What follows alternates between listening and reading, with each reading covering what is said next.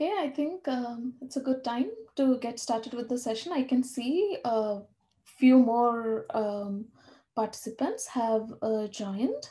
So, uh, welcome to the AI Club Student Research Symposium. This is the part where uh, we are going to cover some material for teacher professional development. So, I have uh, my colleagues um, Alia and uh, Nisha with me. So, um, Alia, do you want to introduce um, the session? Yeah, um, so give me one second. I just want to make sure that you can, uh, give me one second. Sure. Um, can you see my, can you see this, my, um, me okay, my screen okay? Just want to make sure that all of that's visible. Yes, yeah. Okay, uh, so, yes. Uh, sorry, I can stop sharing. I think that would be more convenient for you, right? Yes. Yeah. Yeah. And then I'm gonna just go ahead and share my screen. Um, and then we'll go ahead and get started. So I'm just gonna go into presenter mode. Let me just move this out the way. And then I'm gonna hit present. So give me one second. Here we go. So first of all, I just wanna say thank you um, for joining us for this professional development today. Uh, I know it's a Sunday and I know that our time is very precious. So I appreciate your time and I appreciate you being here today. So thank you so much on behalf of AI Club uh, for spending your Sunday with us. So I'm going to go ahead and get started. Um, and I'm going to move on to the uh, next slide.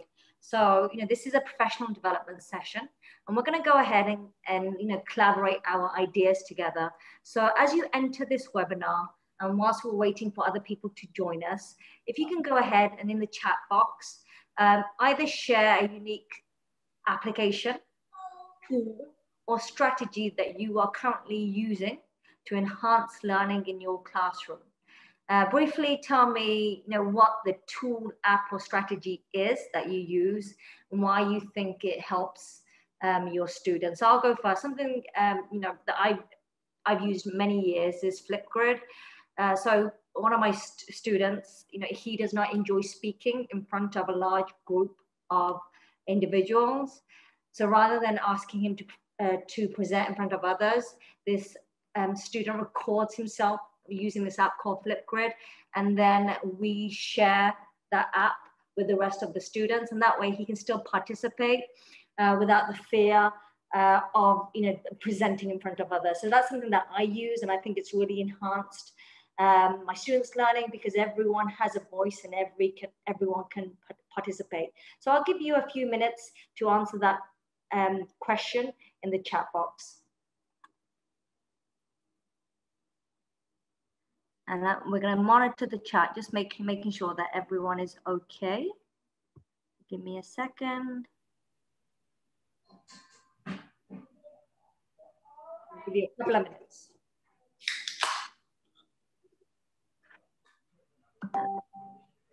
Make sure I'm doing this properly.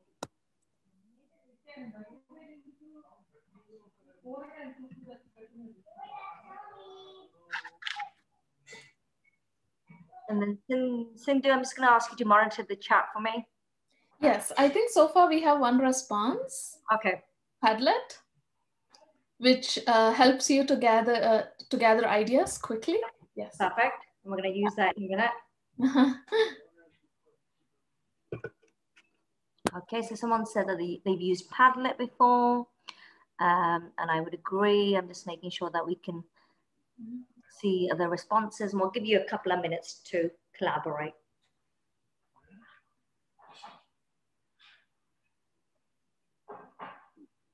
Yeah.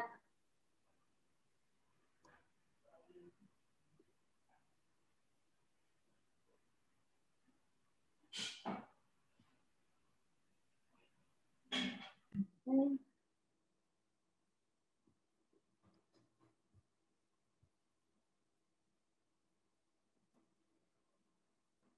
We've had one person respond, still waiting for a couple more.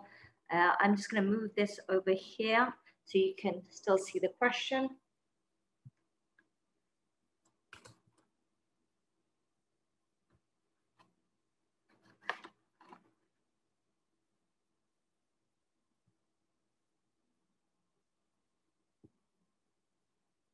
just going to move that down here.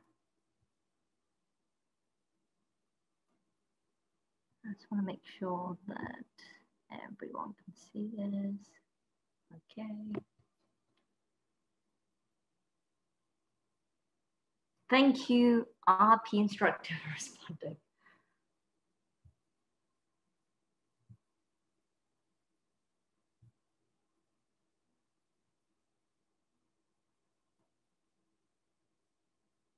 Okay, we'll give you another minute or two, and then we'll go ahead and get, get the session started.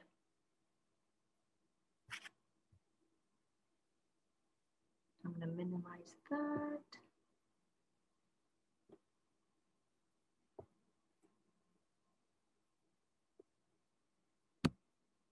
Oh, I don't know what I did.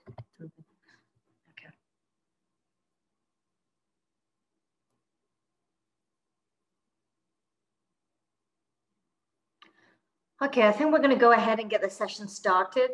Um, so thank you so much for those people that have responded. Um, any ideas? Yeah, Um, I think, uh, sorry, I think there are two more responses just when you like Okay. oh, uh, wait. Oh, okay. Talk and uh, Kahoot quizzes. Yeah, okay, perfect. Thank you so much. Mhm. So Kahoot, Padlet, uh, these are all excellent ideas. So thank you so much uh, for sharing those with us. If you're still responding, feel free to uh, respond in the chat, but we'll go ahead and get the session started because I, I, I am um, aware of time constraints. So I'm going to go ahead and run through the uh, objectives for today. So give me a second. I'm going to move this out the way so we can see it. So the objectives uh, for this session is that number one, we're going to learn what artificial intelligence is. We're going to learn how to teach AI at different grade levels. Uh, where during this professional development, you'll actually get to complete some of the hands-on exercises that we utilize um, in our classrooms. And you know, I'll tell you about the uh, information that I teach in my own classroom. Um, and at the end, um, we'll offer a PD certificate where you'll just enter your information online and then you can sign up um, and get your P, uh, PGP points for attending this webinar today. So this is the objective uh, for this session. Um, so we're going to go ahead and I'm going to see if I can move on. So our trainers today, it's myself and I'll introduce myself. So my name is Aliyah. I have been teaching and coaching and, men and mentoring both at the middle and high school level. So I am an AI educator. Uh, I've also taught family and consumer science. And um, I am currently teaching a careers class at my middle school. Uh, I am an integrated wellness coach as well.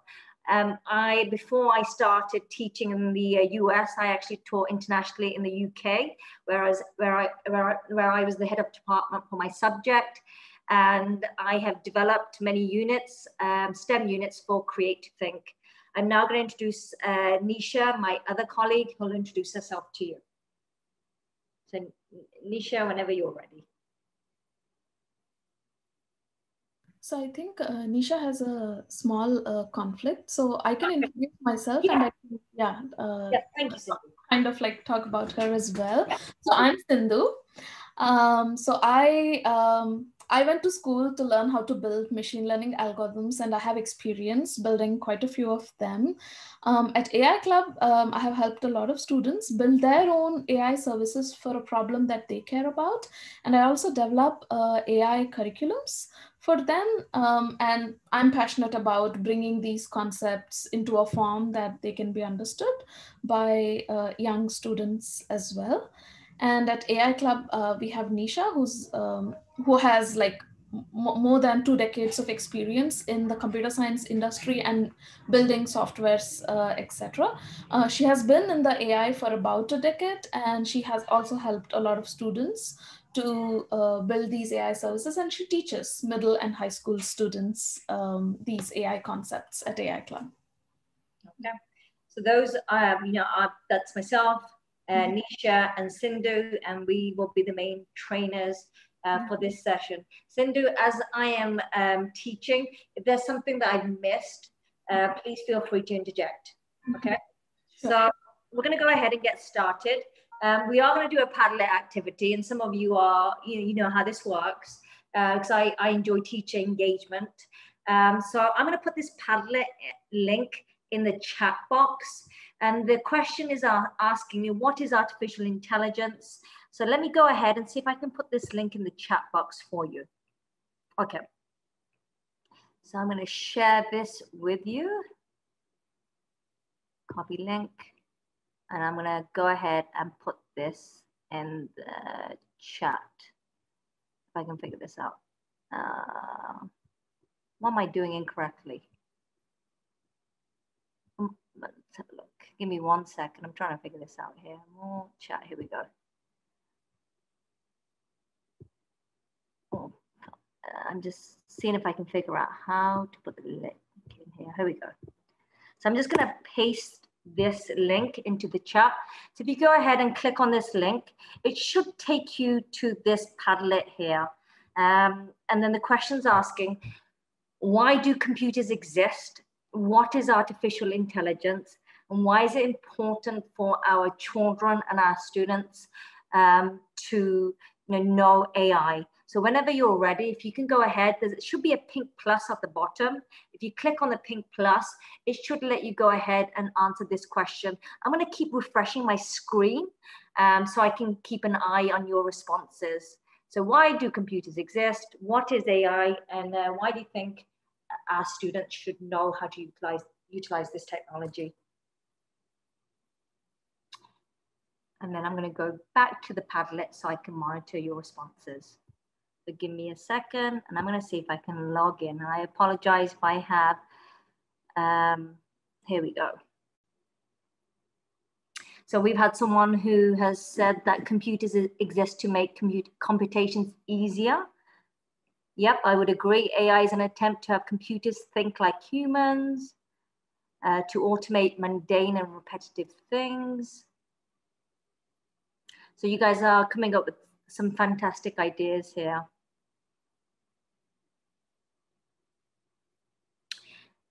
I'm gonna give you some time to answer this question.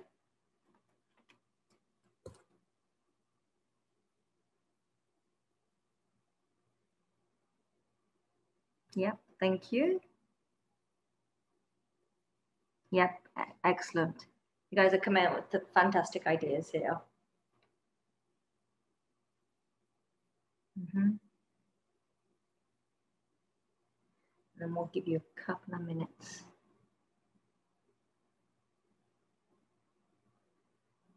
Mm -hmm. Excellent.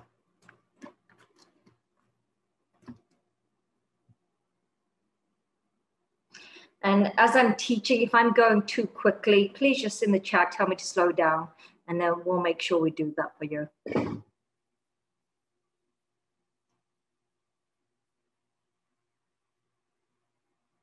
Mm -hmm. Give me a second. I'll give you another minute or two um, and then we'll get started. Mm -hmm.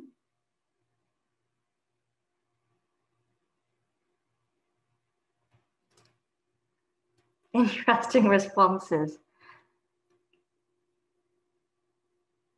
Okay.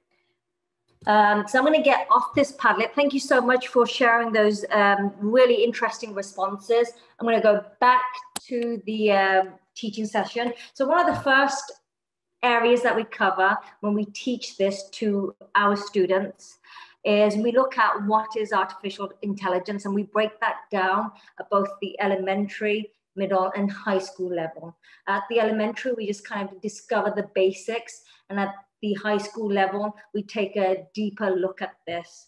Um, so, you know, we tell the students, uh, you know, AI, computer computer pro programming is just a program which can perform a task that needs intelligence, such as planning, learning, problem solving, etc. It's very similar to the human brain. When I teach this personally, you know, I've taught middle school, elementary, and high school.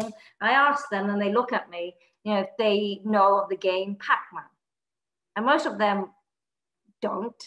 And uh, you know, we just uh, then I talk about Pac-Man, and essentially Pac-Man is just a game that takes place in a maze.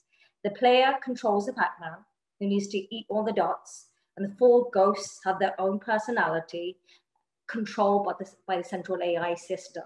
So when I'm teaching this to my students, you know, I talk to them about interacting with games. And I know in England currently we have uh, a big football soccer competition going on. So I bring current events into play.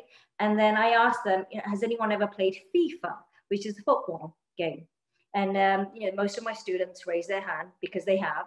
And then we talk about how AI is used in that game or in the gaming industry. So, for example, essentially with FIFA, when you play that game, the uh, the um, op- uh, the opposing team is controlled by the AI. And in the elementary school, we just kind of look at what that looks like. And in the high school level, we dig deeper. Uh, I've also used Quick Draw myself. And this is where the AI has to guess what you're drawing. And very similar to Pictionary. Um, so, you know, we talk about interacting with these different AIs in our everyday life. And the students not realizing that that's what AI is. Uh, I'm going to move on to the next session. So give me a second. Um, so our agenda for today is we're going to look at what is AI. We're going to look at why should kids learn AI.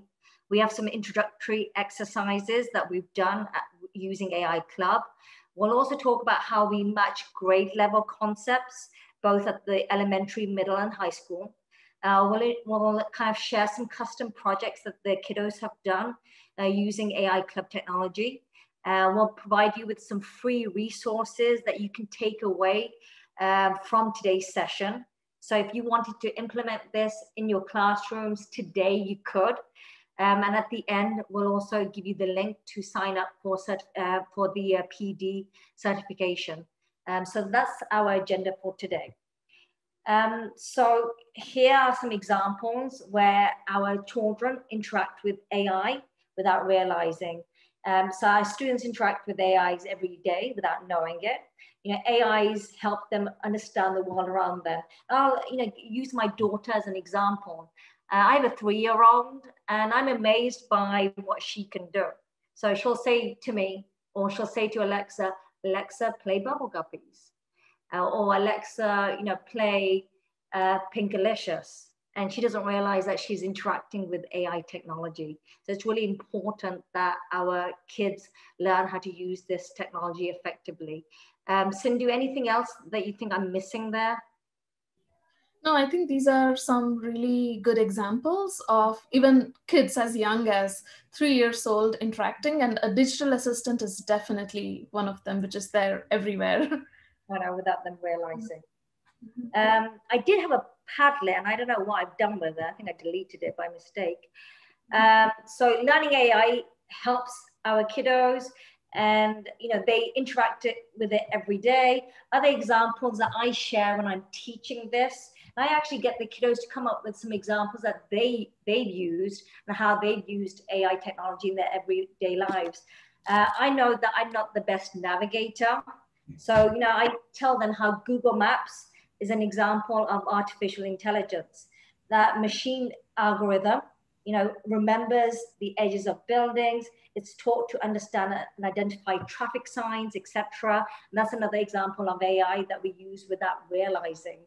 Um, I recently, I you know, I traveled back to the UK and I was able to, I signed up for face detection services and I was able to pass border control really quickly. And just used my face detection as as like an entry path to crossing the border. Uh, the other example I give my students is I use autocorrect. It's really frustrating because with my accent, but I tell them that autocorrect is another example of you know AI intelligence. Um, autocorrect linguists and computer sciences work together to teach machines grammar, similar to us machine, you know, us teaching younger kids grammar.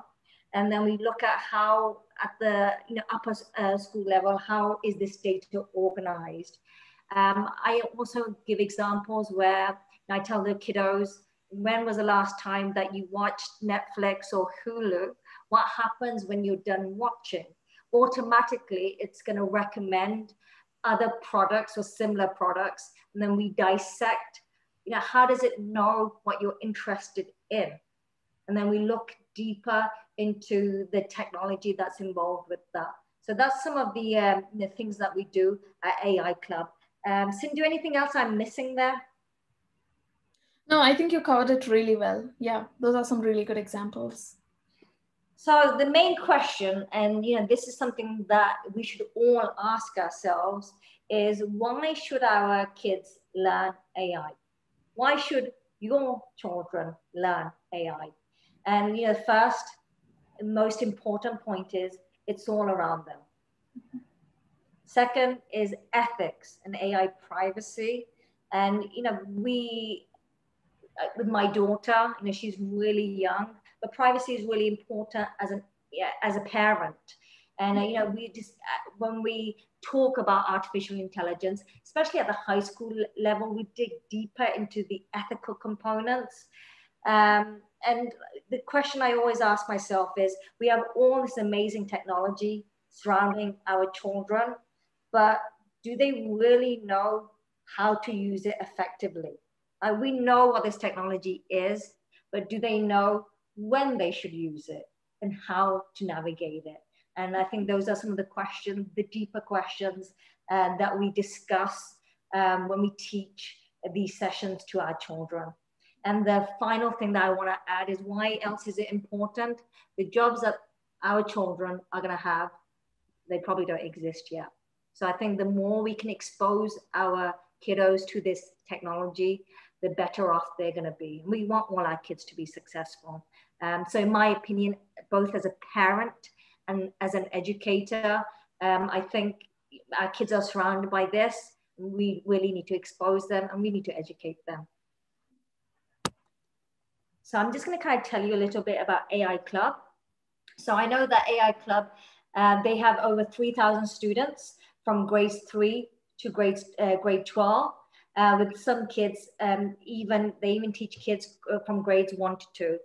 Kids can learn AI at different levels depending on how much math and coding that they have learned.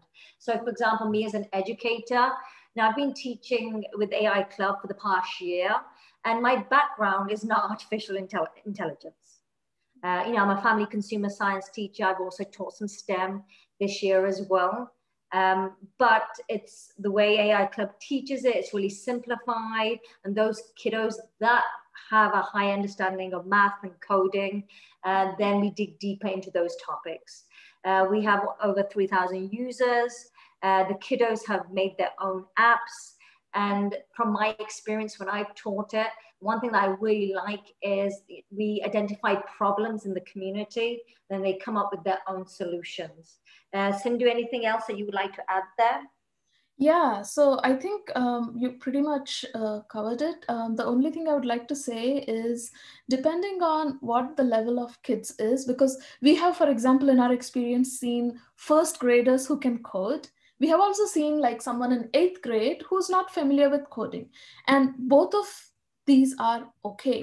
So in order to learn about AI, you don't have to know coding. You can learn the concepts, understand how it works and interact with it if you don't know how to code at all. And if you know coding, then AI Club makes it possible for you to peek behind the scenes and look at the code of exactly how everything was built. So there is a nice mapping for grade levels and for uh, different coding levels. And when we kind of do some of the hands-on exercises, you'll see how you can match different um, uh, coding levels and grade levels with how all of these different concepts are being taught, the depth at which they're being taught. The high level concepts, I think everybody can appreciate. And as you learn more math and more coding, we can keep digging deeper depending on kind of, you know, the level of the class that you're teaching. Okay, thank you. Um, so I'm going to kind of tell you how AI literacy works. I just want to make sure I haven't missed anything here.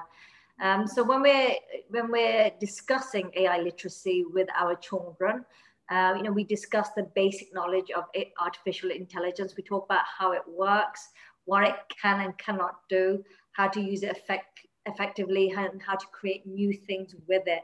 And I'm going to talk to you about my experience. So when I taught this, uh, for AI Club and in my own classroom, one thing that I know works effectively in my in my own classroom is a project-based learning approach. So think about when you are given a new phone. You don't know how to use that phone.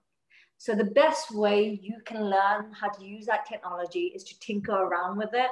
And that's how we introduce AI technology to our students. So we call it a hands-on and top-down approach.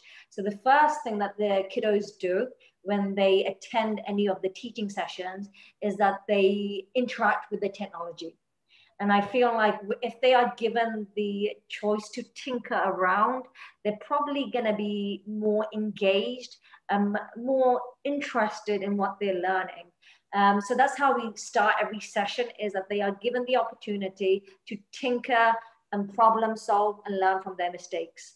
Once they've kind of uh, experimented with the uh, technology, then we encourage them to um, think of a pro- real world problem that they're interested in. So, for example, when I taught this this year to elementary school uh, students, and we discussed how, you know, the COVID pandemic and how we could use the AI technology that the AI Club provides in, in detecting mood, especially for the elderly and vulnerable. And especially during the pandemic, they could not get out. Um, you know, sometimes that can be very isolating. And we, they were charged to come up with sentences uh, in Navigator, and then that app would then predict whether that uh, person was feeling happy or sad. And then the student that was, you know, working with this technology, you know, looked at how we could use this and take this a step further. So, you know, rather apart from entering, entering sentences, one way that we could improve this technology is maybe recommending resources that individuals could utilize uh, to help them during the pandemic. Um, so when I'm when we're teaching this to our our students, uh, they come with, up with a problem that they are interested in, and I I believe that giving them the choice allows for deeper thinking. So when we're teaching, we don't say to them, "This is what you have to do." We actually give them opportunities to explore something that they're interested in because I feel like if they can explore an area that they're interested in, there's probably going to be deeper engagement. Uh, when we're also uh, doing this, they learn concepts. Um, so we discuss how did this AI actually work? Uh, what did it get correct? Are there any areas that it did not perform as well as it could have? At the high school level, we dig deeper and then we look at what can we do to improve this technology. So I think that at the elementary, we just get used to using the technology. At the middle, we look at, you know, what was accurate, what was not. And at the high school, we take it a step further and we try and retrain the AI to make it better. Um, when we're teaching this uh, at AI Club, uh, we try and always use real life examples because I think if we can come, if we can use real life examples, that tends to stick with our children. And at the end, once you know we use the technology, the students are charged to come up with their own project. So at the elementary, when I was teaching this, you know, I had some students who were really interested in different types of animals.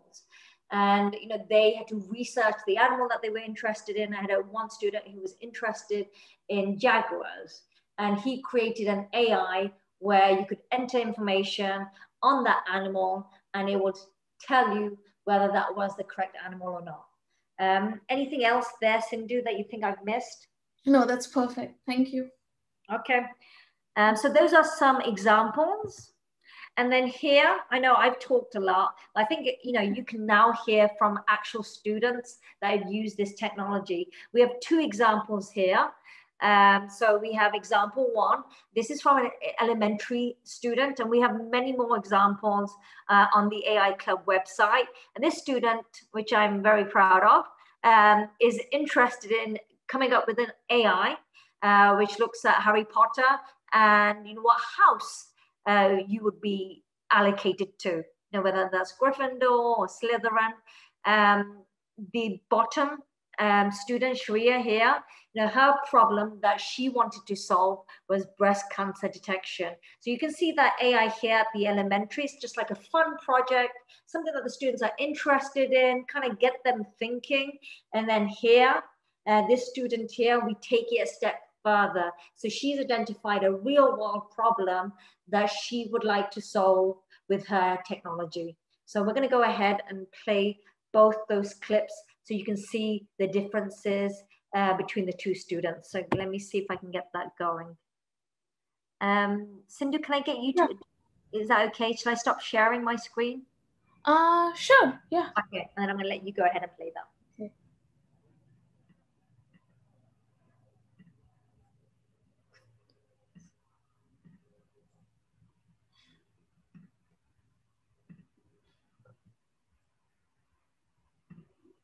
Okay, I hope everyone can see my screen. Yep, we can.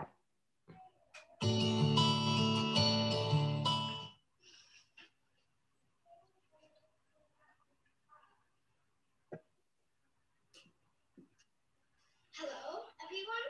I'm Johnny, and I made my project to see what house you would be in if you went to the Hogwarts house of witchcraft and wizardry from the Harry Potter series. So my project, it says what house you're in depending on three inputs that you give it. Your traits, so whether you're kind, whether you're evil, whether you're short, tall, your favorite animal, because during the series, there are many animals that one house specifically favored over another, and your favorite color, because in the books, it showed how one certain house was given a certain color in the house cup. So I had 100% accuracy, as you can see over here, at 100% in the naval classifier, then force classifier, and the MLP classifier. In the confusion matrix, it's all balanced out. They're all in the teens, and so my data set, it wasn't too biased to one house or another. Um, if you want to test it out, then click there. So you can put in a trait of yourself. If any of you parents want to try it. Yeah, does anyone want to try it? Okay. Critical thinking. Critical, okay. What's your favorite animal? Lion. And your color? It's based out of this, yeah. And Gryffindor. Yay! Good job. Thank you, Johnny. Good job. That was our first student. Um, and as you can see, when we're teaching this, the students are encouraged to use the technology um, with regards to a topic that they're interested in. But apart from using the technology at the elementary level, we're also encouraged to look at the data and analyze the data. So how accurate was this? And what would be some of the reasons that there may be bias in the data? And at the middle school level, we discussed that in, in much further depth. So we're now going to go ahead and play the second example for you. My name is Shreya, and I'm in seventh grade. And my project is breast cancer detection using an AI service. So I was trying to study how advances in computer science can help with early detection of breast cancer. Here's my procedure. I collected histopathology images from Kaggle. I then used a free tool called Navigator available at the AI Club website to upload these images and create a deep neural network for the classification of cancer and benign or healthy images. After that, I tried several hyperparameters of the deep neural network to tune it for high performance. By doing this, I was able to get accuracies ranging from 70 to 95%.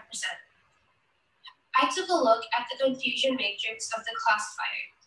And the goal was to reduce the false negatives because you don't want to miss even a single person having cancer. In addition to using the confidence values output by the AI service, I also plotted something called an ROC curve which is a very popular and highly used metric for analyzing this kind of binary classification. I used it right over here. So by analyzing the data and working on it for several weeks, I learned that it is very hard to tune a deep neural network, especially when two categories are hard to tell apart, such as cancer and benign. Getting high performing AI services with even the latest and greatest tools today takes a lot of time.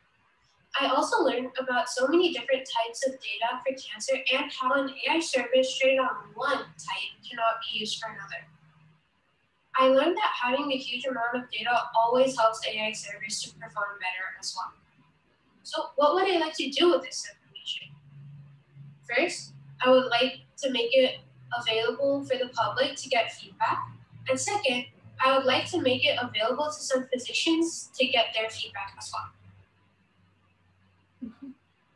So those are just some examples of how we've used AI technology, both at the elementary and middle school level. Obviously, we have lots of other examples on the AI Club website. We'll point those resources to you uh, once we get started. As you can see from both those students, uh, something that we really encourage is a problem-based approach. So they identify the problem, you know, they're charged to think like computer scientists, then they look at the data, um, they identify a solution to the problem.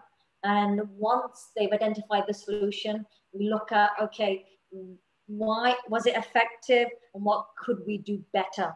And the, that's the approach that we take at AI Club is it's a problem-based approach where we have a problem, we come up with a solution, and then we look at um, how we can make it better, just similar to like a computer scientist. So those are just two examples there. Um, I just want to make sure you can share my, can you see my screen? Just want to make sure I'm, yep, good. Um, so our next part of the PD is we have some introductory exercises that we would like for you to partake in. So you can kind of see some of the uh, cool things that we're doing with our kiddos. Uh, we're also going to talk to you briefly about how we match content to grade level concepts. We'll show you a couple of projects that the kiddos have done and then we'll provide you with a free resource overview that you can use in your classrooms um, today. So the first thing that we, uh, we're going to do is, and we do this at the elementary school level, and we obviously we can tailor that for middle and high school level as well. So something that we ask the kiddos to do is, hey, uh, put your hands up if you enjoy drawing or if you, you know, if you like being creative. And most of the uh, kiddos will, you know, they don't like sitting still. Most of them like to be creative. And that's where we use artificial intelligence and art and then marry that together. And we look at the concept of deep fakes. And I ask the kiddos, I'm a lot older than them. They probably don't know this. I'm, you know, I say to them, hey, do you know, have you heard of Facebook or Snapchat? Uh, middle school level they have. And then I, you know, I asked them the question, have you seen Mark Zuckerberg brag on about having control of millions of people's data? Or Jon Snow, high school, maybe college students, um, you know, apologizing for the dismiss, the horrifying ending of Game of Thrones. And those are all deep fakes. So, so deep fakes are just 21st century issues that involve photoshopping and it's artificial intelligence in practice. Um, so in a second, we're going to look at how we can marry art and music together. We look at why it's good, why it's bad, and then where deepfakes come from. Sindhu, I don't know if you want to take this away from me. Yeah, sure. Thank you. So I'm going to post a link for everyone. Everybody can try this hands-on. It's super simple. The kids usually have a lot of fun doing this. So this is just a starter exercise kind of before we introduce the actual AI that's being used behind the scenes. So I have posted the link for all the attendees and panelists. Mm -hmm. Please click on the link. When you click on it, you should see something like this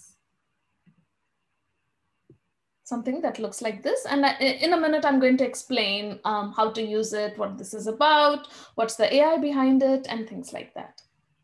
And then if you have any questions, if you just post them in the chat, and as Sindhu's doing this, I'll see if I can monitor the chat. Mm -hmm.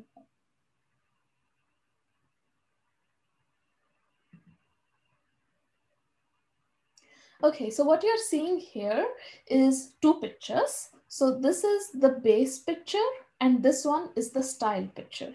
And the idea is we want to combine these two. So I want this picture as if it was created using whatever style this picture follows.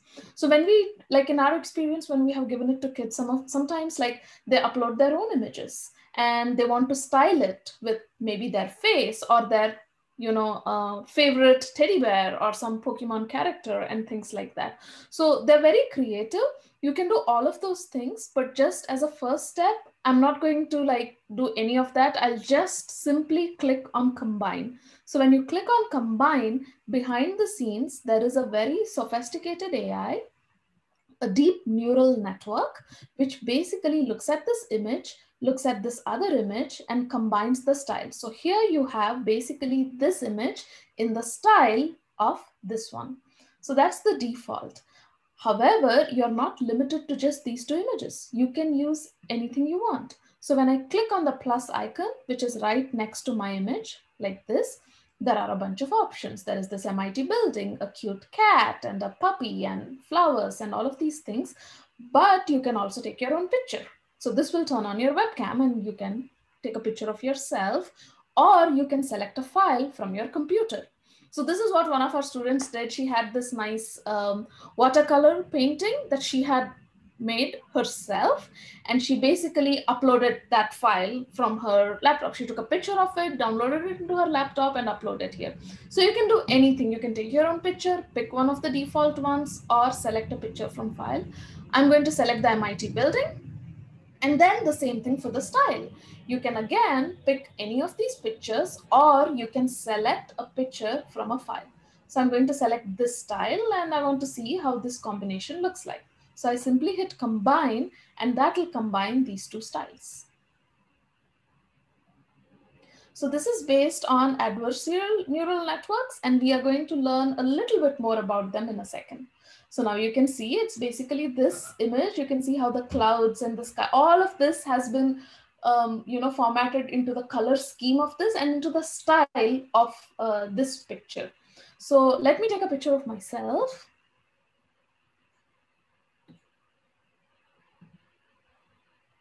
something like that. And then I can combine and basically I'm going to have a picture of myself saying hi in this style. And I can change this to like all different sorts of styles and see how I look in all different styles. So this is something you can all try as well. So we'll give everyone a little bit of time to kind of try this out. Um, and then we'll talk about how a neural network is able to do this, how the technology has come a long way. And I'm sure like some of you have probably experienced this in Instagram filters, a lot of apps these days, actually, you know, they'll even like kind of superimpose ears and like a small spot on your nose and things like that. So it has become pretty common and it's um, important to be able to learn about how this combination happens or you know how, why when is it good when is it bad all sorts of ways that it can be used in and things like that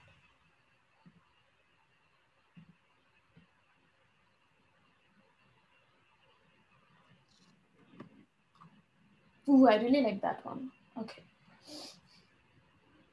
So it's almost like, you know, some artist has drawn using like a, yeah, so I really like this style.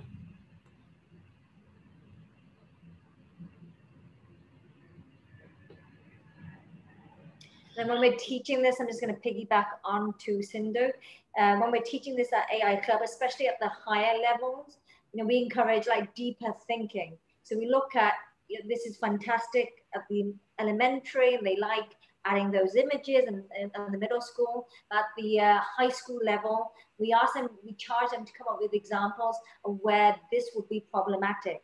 Um, so, like for example, deep fakes recently, uh, last year in the UK, um, one of the, the German energy firms paid nearly 200,000 to a Hungarian bank after being phoned by a fraudster who was mimicking the German CEO's voice.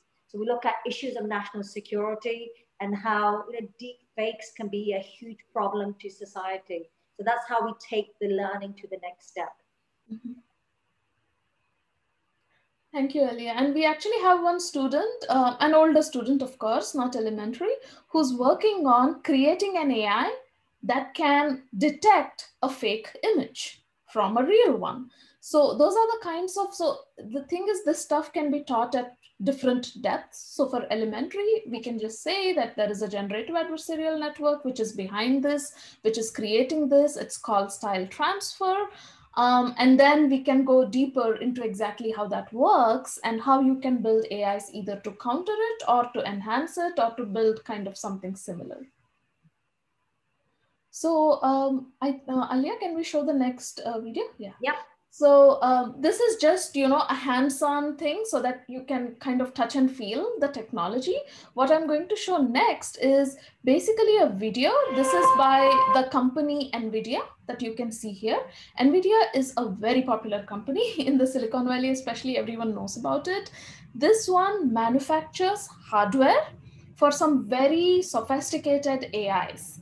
And the style transfer AI that you just looked at was implemented or used NVIDIA's you know GPUs, uh, graphical uh, graphic processing units, very special kind of hardware to train and to learn how to do this kind of style transfer.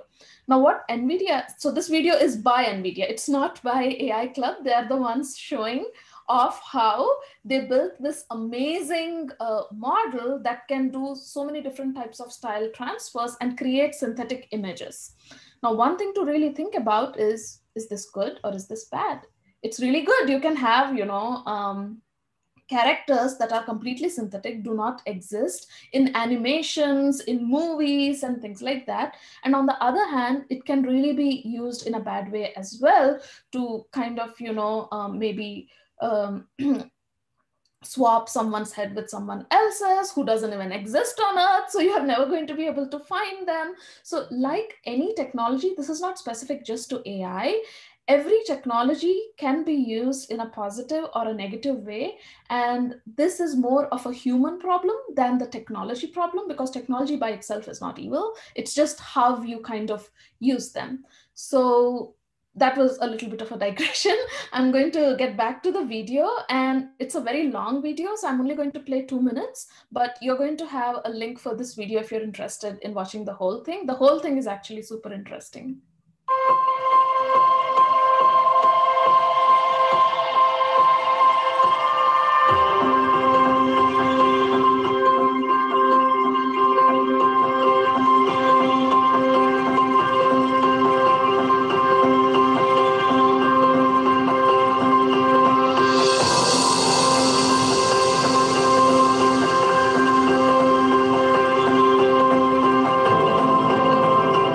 Okay, so all of these are fake.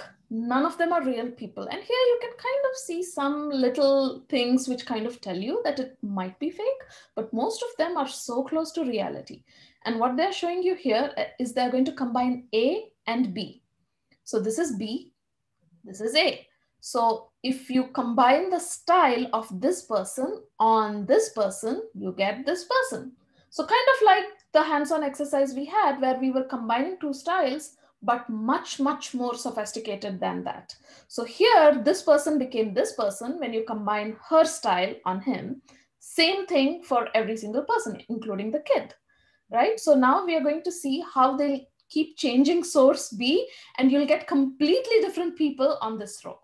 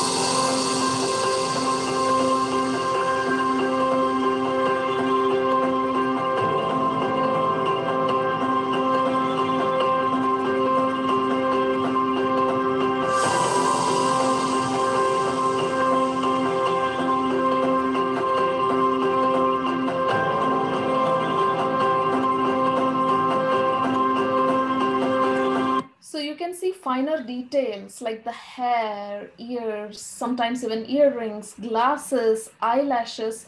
There's so much detail and they're such high quality images. All of these are fake. These are not real people.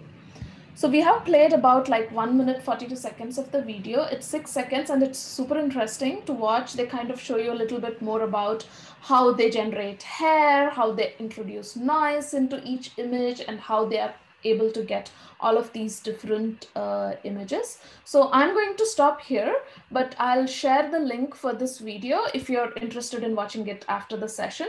The kids usually really enjoy watching this. Okay, uh, I'm gonna continue. So I'm gonna share my screen, again. So we just did exercise one, which was, um, you know, combining two images to make a new image. Um, and then obviously we explore the technology behind that. Uh, next exercise is something that I've actually used with my own class when I teach this. So I've used this as part of an AI club instructor, but I've also taken this and used it in my own teaching. Now I teach a careers class and we explore different careers. And I know my kiddos so in my in my school, and some of them are, are not have not done any coding. So this is their first experience with actually using this type of technology. So I think it's super important. Um, so when I taught this, and I used an example earlier, uh, we looked at uh, a mood detector. So in AI Club, you know, we looked at when would you uh, when would you need to know how someone is feeling? You know, can you give me some real life examples? And some of the kiddos, obviously, we said COVID. Uh, you know, we looked at um, you know, maybe mental health issues. So if we have a student who's really struggling with mental health, having access to this technology will be extremely useful. Um, then the students are then given the opportunity to tinker with this technology. Then we look at the data and then we look at, okay, what did it miss? How can we improve it? And at the middle and high school level, they're given the opportunity to retrain and make the AI better. So in a second, we're going to have the opportunity to interact with some of the basic technology that some of the kiddos use at AI Club. Remember, this is only a couple of minutes, but when we teach this, we go further in depth. So Sindhu, I'm going to stop sharing so you can take this away. Thank you. So uh, I'm going to post a link again on the um, chat. So that's the link. When you click on it, you should see something like this. So it's a website to aiclub.world. This is where we are going to be building it. Um, and to be able to build it, you would first need to log in. So I click on login. I'm already logged in, so I come here. But if you're not, then this is kind of the screen you're going to get at. You can sign in with Google, no problem, or you can create a username and a password. So all of those things work. Typically people just find it easy to click on sign in with Google. So since I already have an account, I'm simply going to log in using my username. If you don't, please feel free to create one or simply sign in with Google.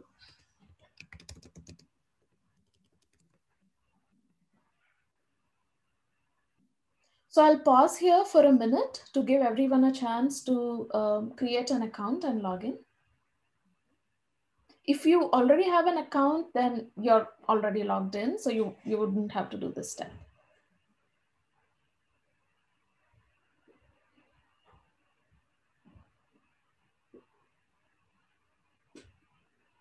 I'm just monitoring the chat. If you have any um, issues, just type in the chat and then we'll try and help you think everyone seems to be okay. We can wait for a minute or two. Uh-huh. Sure.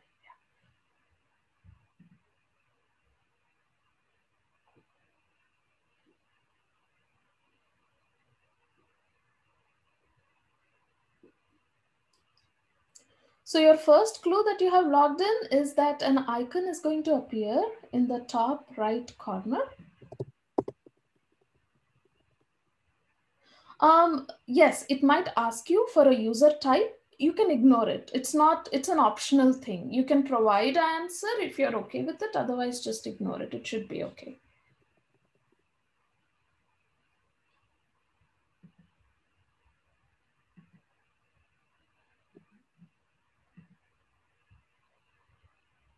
Okay, and when you click on that icon that appears over here, the first option you see in the dropdown is go to navigator. And that's the option we are interested in. So if I click on it, it's going to take me to a screen that looks like this.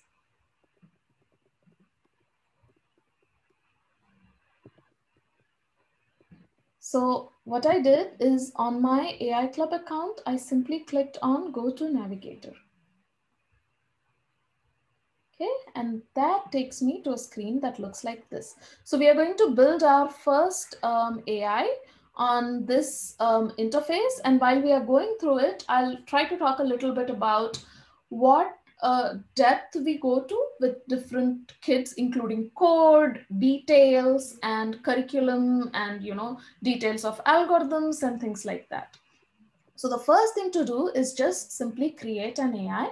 For that, please click on this button that says create an AI service. So I'm simply going to click on that and I can give it a name. I'm going to call it Happy Sad Detector. Okay. So I give it a name and simply click on submit. So that kind of started my project or my AI service and it's called Happy Sad Detector.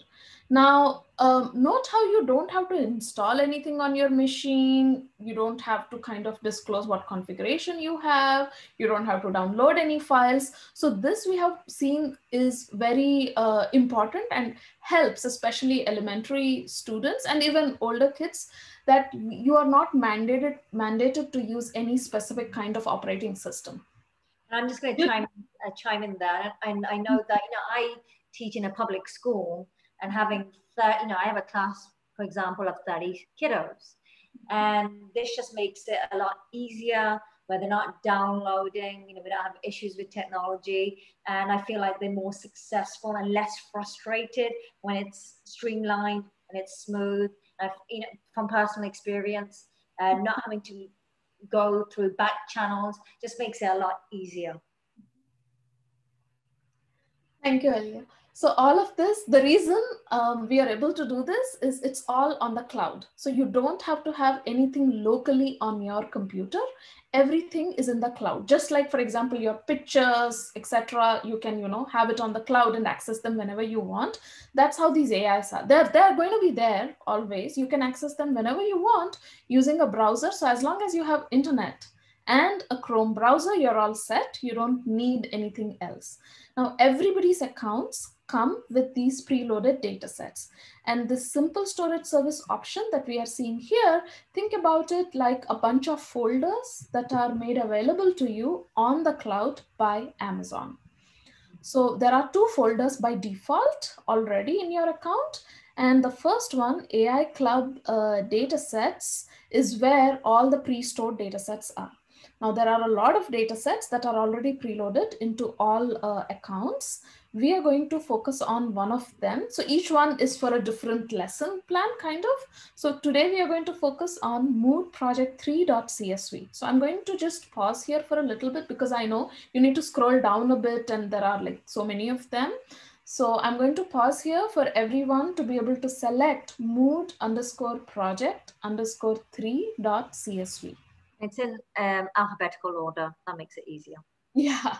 You know your alphabet, you're good.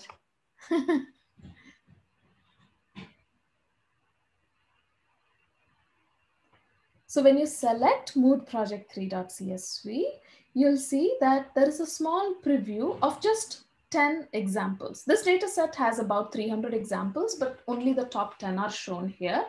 This data set was actually created by high school students who entered into a form or a sheet their ideas of what a happy feeling and a sad feeling is. So that's how this data set was created. This just gives you a small peek um, into it. Um, you see an orange button that says import data set. Please go ahead and click on it. What this does is it tells uh, Navigator that this is the data set we intend to use to train our AI, to make our AI learn something. Now note that there are two columns in the data set feeling and sentence. The idea is AI is going to predict the feeling when you enter a sentence. And we haven't told that to the AI yet, but basically whatever you want the AI to predict is called the label. And the label here is the column feeling. So this is what we want our AI to predict. And there are lots of examples of these two emotions. So this data set only has two emotions, but an AI is not limited to two. You can have any number of emotions. This as a starter data set has only two. And there are lots of examples. So for example, for sad, there is I'm sad, I don't feel great today, I miss my friend, I want to go home. So these are all examples of the sad feeling. And there are about 100 or 150 examples like that for both of these categories. So what have we done so far? We have simply told the AI that we want to use this data set. And that's all we have done so far. The next step is called feature engineering, which is the tab right next to data sets. Here we are going to tell the AI what we are expecting it to learn. So what would you like to predict? I would like to predict the feeling, right? Of happy or sad. So I just say that that's the column that I want to predict and click on apply. So when you click on apply here, a lot of things are happening in the background. So AIs can process things like images, videos, music. It can process um, audio signals, it can process text and all sorts of things. But behind the scenes, it always converts everything into numbers. So all the text here is also behind the scenes being all converted to numbers because an AI algorithm only understands numbers. So that's the process that happened here. So now we have this bunch of data. It knows what it needs to predict and it has converted everything into numbers. And now it is ready to learn. So the next step is train where, um, so here again, depending on what grade level they are, what algorithms they have already learned, what material has been covered, we might select any of these options. There are a lot of combinations here. But for someone who's building it for the first time, we don't do that. We simply go ahead and click on train. But if you are a high school student uh, who, who's already learning about all the different algorithms, its parameters, how to tune it and everything, you can uh, select some of these options and tune them. Now, let's say you are awesome at Python coding. You already know a lot of Python coding and you don't like this UI interface, you want to actually look at the code that is behind it, it's absolutely possible to do that. So this tool is completely transparent. Whatever is happening inside, you can look at the code behind it. You simply click on generate code button and the entire code that executed this whole thing, you can download it and you can run it, you can tinker with it, you can do whatever uh, modifications you want to do to it, etc. So that is for someone who's very, irrespective of grade level, like how familiar you are with Python coding. And of course, we have Python curriculums as well that will help you to get to a state that you can understand everything going on for being able to build an AI. However, we are not doing that today. I'm not going to generate code or show any code. So we have built the AI and now you can see it has actually launched several different algorithms and deployed the ones that it thought is the best. Now, deployment is a very unique thing, which I personally uh, find it hard anywhere else. So deployment means that this AI is now available over the internet. As long as you have internet, you should be able to access this AI and kind of play with it. So now we are going to go to the monitor screen and interact with this AI. So please click on monitor and here you can enter any sentence and the AI is going to predict how you're feeling. So I'm going to say, I'm sad. So I would encourage everyone to kind of try out uh, different things. This was an obvious one. So I'm going to say I'm happy. Hopefully that says happy, okay. Um, I'm feeling joy or something, something like that. Let's see what it thinks. So, so far it did well on all of them. So I'm going to try a bunch more and try to find examples where it doesn't do all that well. And if you find some examples where it is making predictions that are incorrect, please post them in the chat. So something that we encourage uh, my students is, you know, we start with basic sentences mm-hmm. um, and then our goal is to try and see if we can um, uh, trick the AI into predicting incorrectly. That's where maybe we'll enter exclamations or we'll enter, you know, we'll change the structure of the sentence. We'll see if the AI can actually predict correctly or not. then we look at reasons why there may be discrepancies. So especially with the uh, middle school students, where we can have those deeper discussions. Uh, you know, we deliberately enter sentences that may not make sense and see if we can trick the AI into making those discrepancies. So if you have, um, yep. Mm -hmm. So there was a question on the chat, does this work only with English? Well, the AI we just built works only in uh, English, but if you have a data set which is in German or Spanish or French, you know, any language, um, then it'll work with that. You just need to provide it examples in the language that you would like it to predict. So the next question is, is the data set available in other languages? So this data set we collected from high school students in the California area of USA. So that's the reason it's all in English. Um, so this dataset itself is not available in another language, but there are a lot of public datasets. Um, there's Kaggle, which is a huge dataset repository, where I'm sure you can find um, sentences in other languages and do exactly the same thing to be able to train with it. And then the other thing that we discuss, I know when I've taught this um, eh, previously, is we actually look at um, AIs in different countries. So, you know, I'm from England and we have lots of lots of different words that I use that are not commonly used here. So we look at, you know, if we were to build an AI in a different country, what that would look like. And I think just having those deeper discussions, you know, across uh, different countries and different cultures, and I think students find that really fascinating. And that's where you can tie that in there. So typically the next question uh, that kids ask is, well, it's not, you know, predicting some of these things. They feel so strongly about it. They want to teach the AI because they're like, I'm feeling wonderful is a happy feeling. Why is it predicting sad? So I want to change it or I want to help the AI make the right prediction. So it's absolutely possible to do that. There are so many different ways that you can do it. So the first method we teach them to be able to retrain an AI is to click on this retrain tab. And here if someone, if I say, for example, I am feeling wonderful, and I click predict, it's going to say sad, which is incorrect. So I'm going to say this prediction is wrong and I'll select happy because I'm feeling wonderful is a happy feeling. The reason it may not predict properly is because the training set maybe did not have those particular words.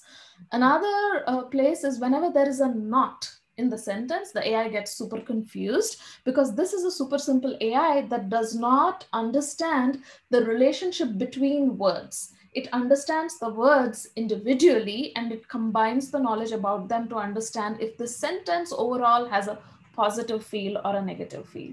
So you can predict more and whenever you're unhappy, you can always say that I'm unhappy with this prediction and change it and give some feedback. So for example, I can say, I'm crying. Tears, something like that. Uh, it says sad, okay.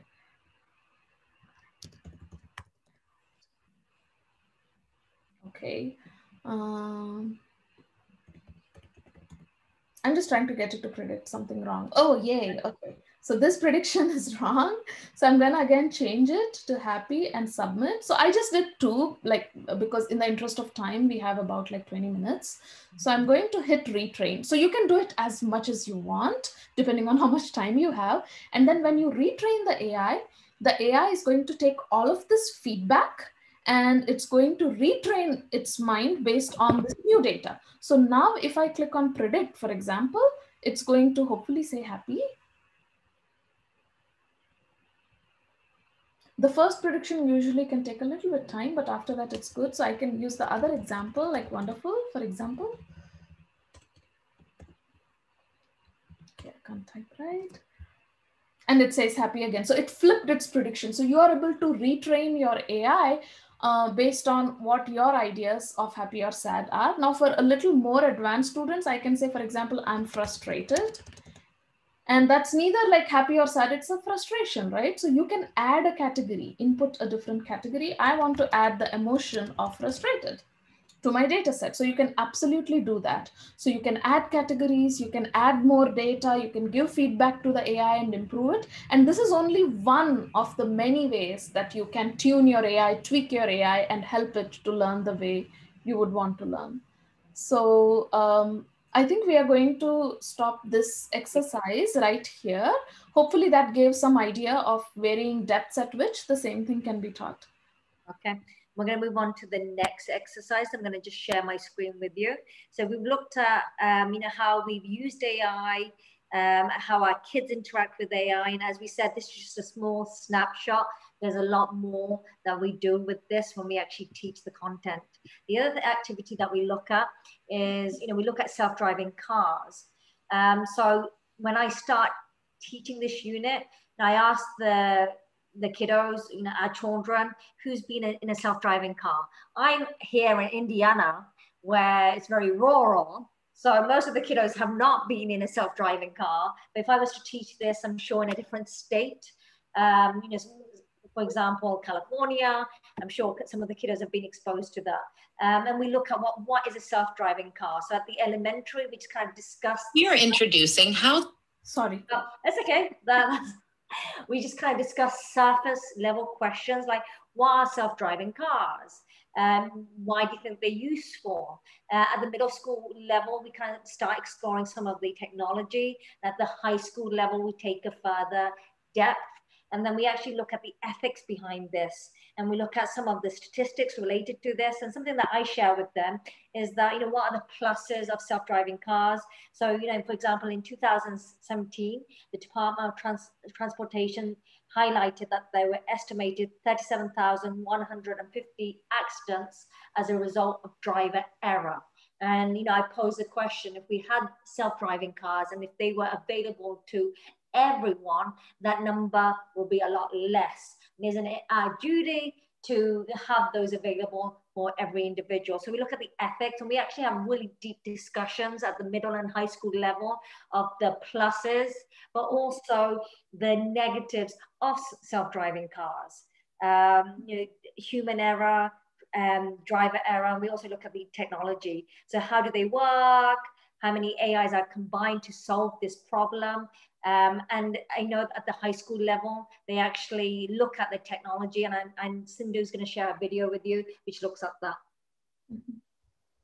I don't know if I missed anything there, Sindhu. No, uh, perfect. Yeah, it, it, all good, Alia. So um, maybe you need to stop sharing. I'm to stop sharing. Here we go. Thank you. Um, okay, so this is an example of how a self-driving car looks, and then we are going to have a hands-on exercise where you can build a image detector of your own. We are introducing how the Tesla autopilot works. We are right now on the freeway, and as you can see, the autopilot is not yet turned on. You can also see that the car is tracking the path that it needs to go in terms of direction. It is able to see the cars in front of it and the cars near it. Now we are going to start turning on the autopilot. Now the autopilot is on. The car is actually driving on its own. How can we tell that the autopilot is on? You see that little blue Tesla sign on the top right, two steps away from the speed indicator. It has now turned blue, which means that the autopilot is on. Note that even though the Tesla is an autopilot, it requires that you keep your hand on the wheel. Let's see what happens if you take your hand off the wheel. Let's see how long it will let you drive without the driver having the hand on the wheel.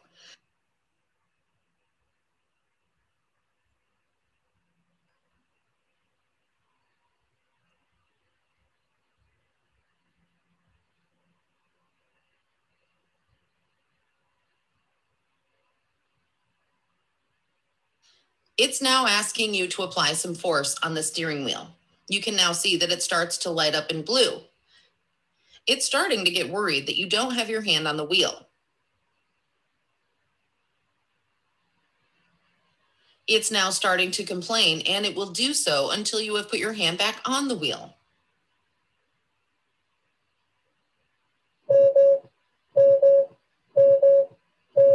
Now we will put our hand back on the wheel. You can see that it's happy again. This is an introduction to how the autopilot works.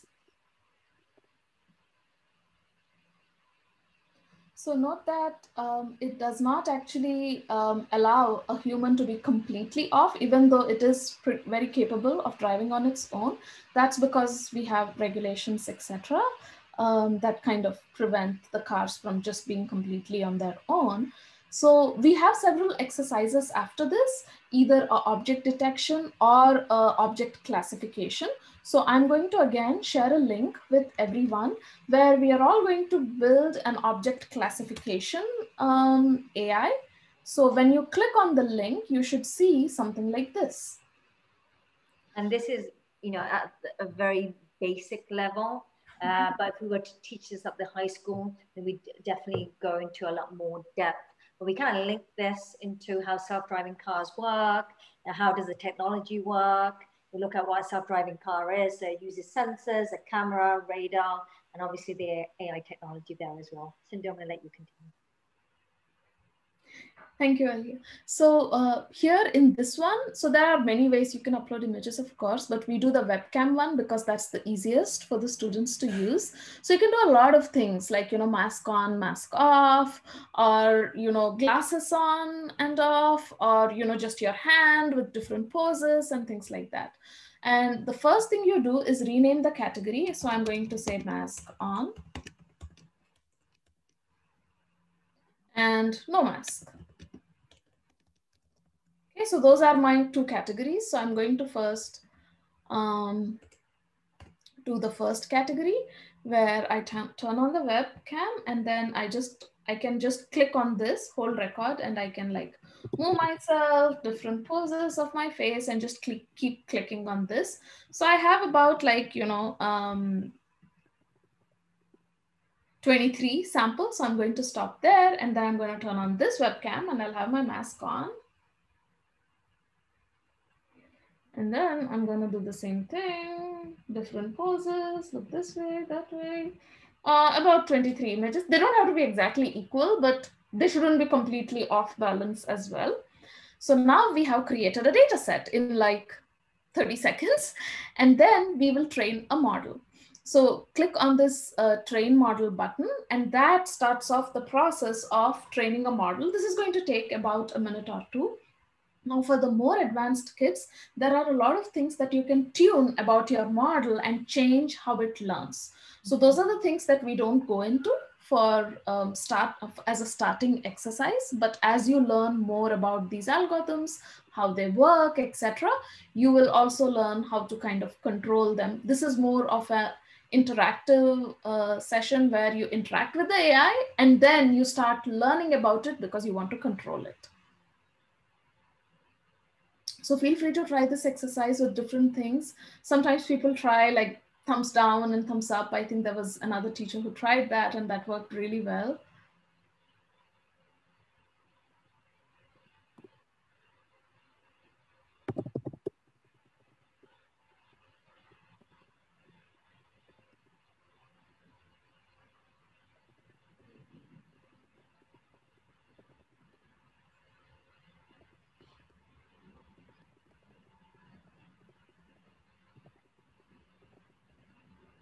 If you have any questions, just enter them in the chat. So Sindhu, if we were teaching this at the uh, high school level, um, what could they do to kind of interact deeper with this technology? Yeah, so they could uh, basically use uh, this model or more, more sophisticated uh, models in this. They could also... Mask on. Sorry, I think, uh, let me just, uh, uh, let me just Oh no, I think I flipped the categories here. Sorry, that was my bad. So in mask on, I don't have a mask and in no mask, I actually have a mask. So it's going to predict the opposite. Sorry about that. So for more advanced uh, levels, we would basically let them tune something called hyperparameters that they're going to learn about um, if they are at a, at a higher grade. So uh, the first category is basically when I don't have a mask and here it tells how confident it is. But the moment I like put this thing on, uh, hopefully it should change if it's working correctly. Sometimes it needs additional training sessions to be able to change. I think the last time I tried it changed, so I might need to retrain the model. Sometimes that's needed. So I'm just going to retrain it. And as soon as it retrains it, it's again going to kind of uh, reset itself and predict. And sometimes it takes like a couple of trainings for it to get it right. So has anyone else tried this in the background and have some facts to share?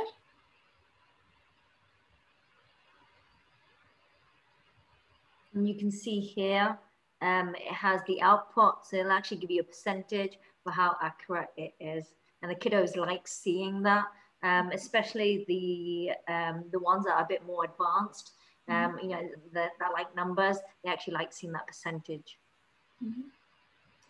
So now it seems to be doing a little bit better because I can see the other one also going up and down. There is a small lag, which is causing some issues, I guess.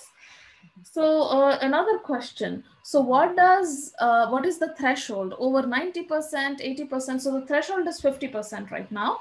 So uh, since this is a binary classification, it outputs a number between zero and one. And if it's less than 0.5, it's one category. If it's more than 0.5, it's another category.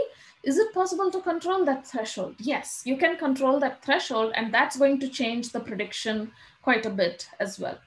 And it has a voice interface, but of course you can turn that off and try this for different images. The more the images, the better its accuracy always.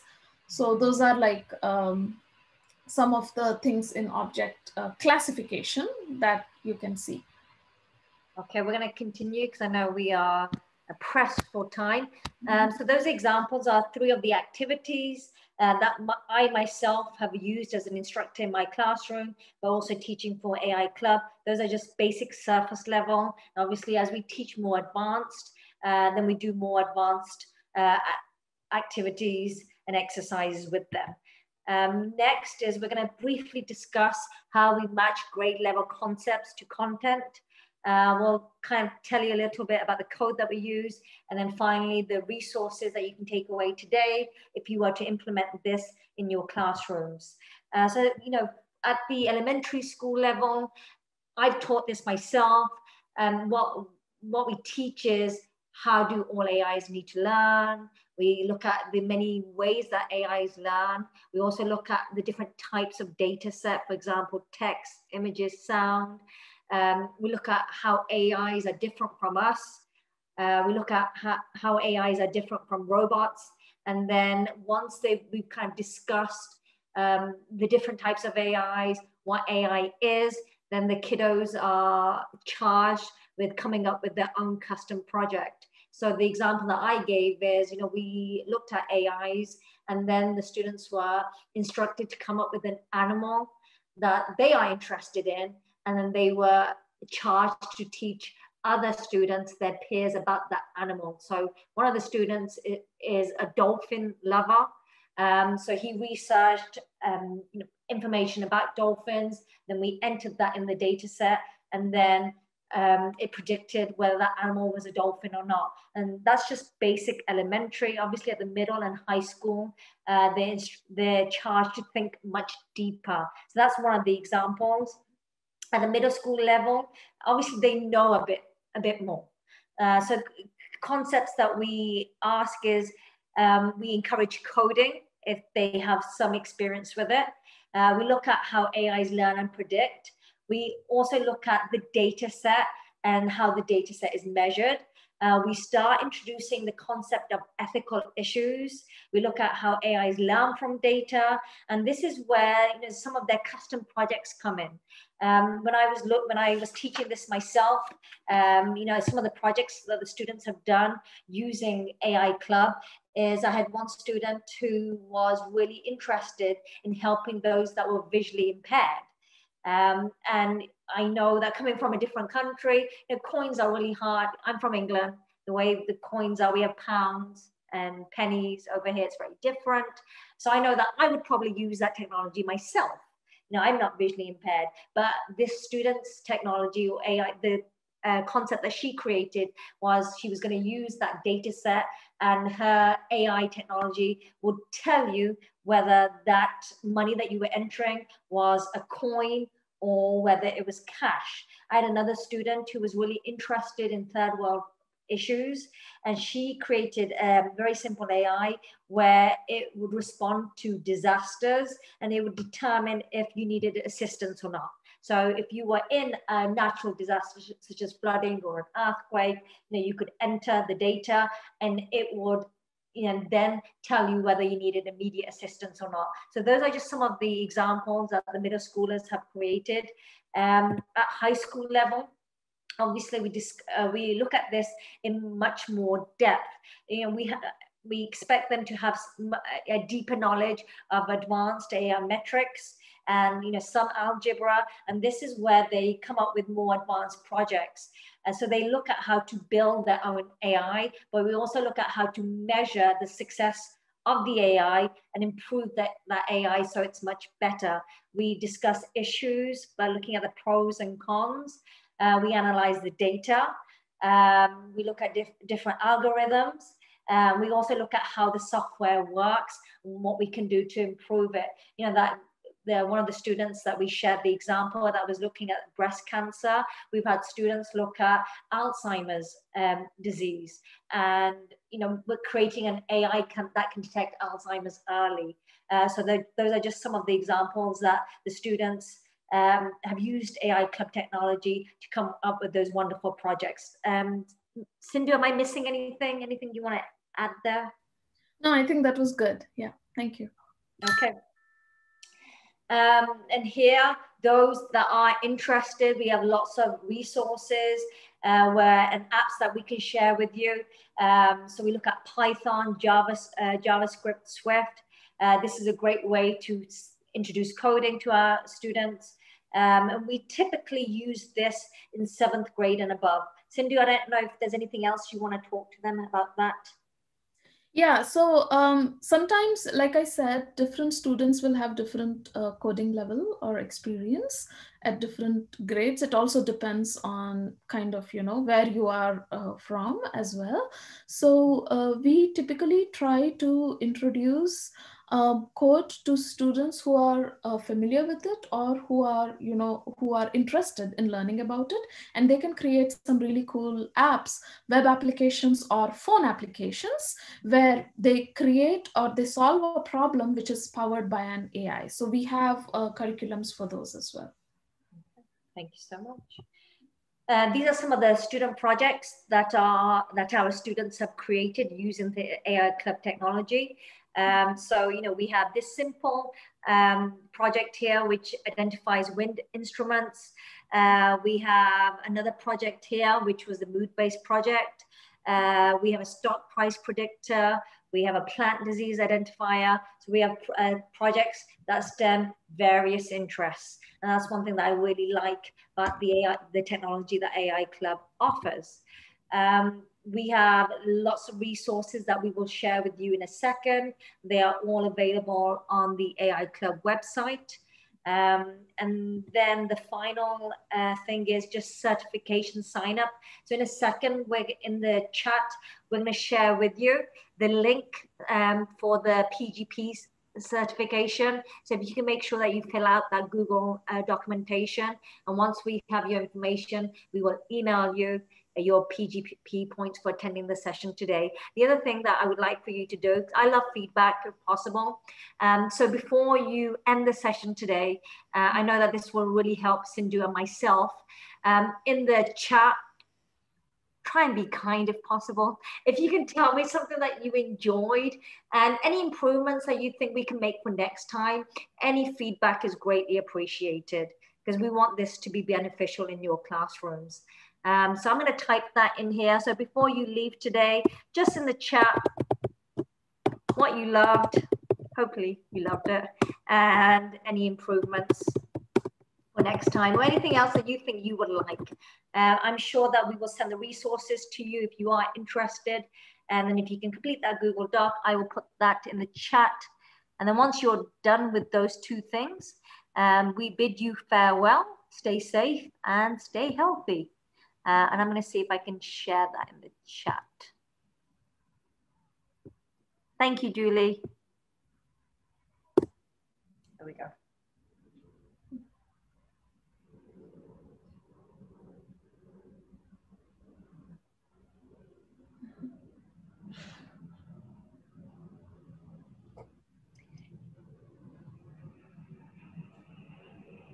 Thank you. Yeah, so that exercise was um, the mask, no mask exercise is usually a good way to get them started. And then I know someone said here that they would like more in depth as they teach coding to high school kiddos. Uh, we'll make sure that, that we get those resources out to you uh, because we want this to be beneficial for you as well. Mm-hmm. And I think they want Jupyter notebooks, which is perfect. Um, I'm not sure if you're familiar with Colab. So Colab is also a notebook kind of interface, very popularly used for uh, Python, um, kind of the same thing. So we have a direct, like we can show you how everything that is being done in Navigator can be done in Colab as well. Um, you will have all of the code for it. You can automatically generate different code for different AI. So all of those things are possible and we can send you more information about that. And then someone was asking that, you know, they would like to see more Python um, and then other yeah. information and we'll make sure that we get that to you because we want this to be useful and where you can implement it in your classroom. So we'll make sure that we have that um, out to you. And mm -hmm.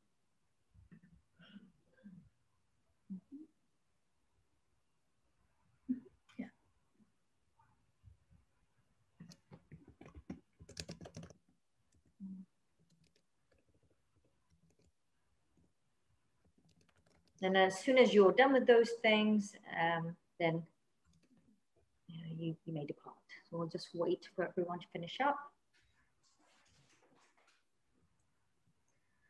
Okay, so um, I think, uh, yeah, mm -hmm being able to see the code and then tuning it and getting it to a uh, good state, yes, all of those things are possible. You'll not have to struggle with the starting of it. The entire skeleton, all of the basic code will be provided, and then you can keep tweaking it um, for uh, changing its hyperparameters and you know getting to where you want it to get. Um, that's um, definitely possible. We already have curriculums for all of those stuff. So, and I'm going to brag upon Nisha and Sindhu. Um, mm-hmm. you know, I am new to teaching. I'm, an, I'm a new AI educator. And the thing that I am going to stress is if there's something that you're not confident with teaching, I've um, Zoomed and um, I've done a live Google Meet with Nisha where she's actually taught this to my kiddos. So if it's new concepts and you're kind of struggling with teaching it, don't be afraid to reach out and we can you know we can live stream with with your kiddos and actually help you teach this if, if that's something that you desire.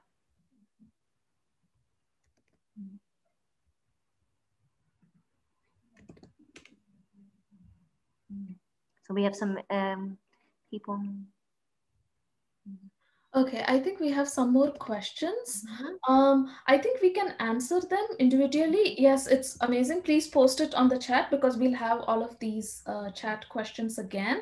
Uh, mm-hmm. And about squeezing it into six to 10 weeks. So the thing is, we have curriculums for much, much more than that, obviously. But in six to 10 weeks, it's how many hours in the week and things like that need to be factored in.